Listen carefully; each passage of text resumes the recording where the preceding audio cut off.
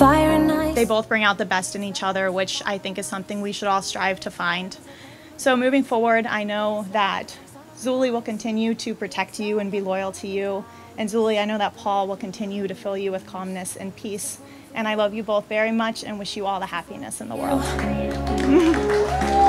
Beautiful mind, your heart got a story with mine. Your heart got me hurting at times. Your heart gave me new kind of highs. Your heart got me feeling so fine. So what to do? Still falling for you. Still falling for you. It took us a while. With every breath, a new day. With love on the line. We found our share of mistakes. But all your flaws and scars are mine. Still falling for you. Still falling for you.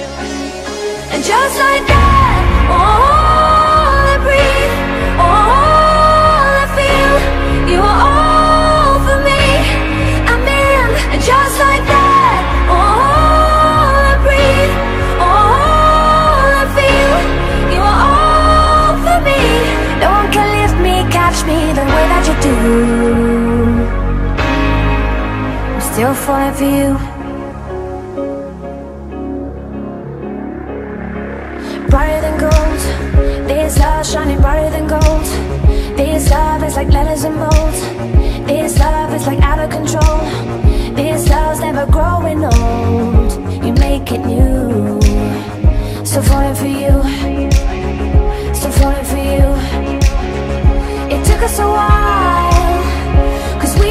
Young. Zully, I am honored and blessed that you chose me to be your husband. When we first met, I instantly fell in love with you and knew that I wanted to spend the rest of my life with you.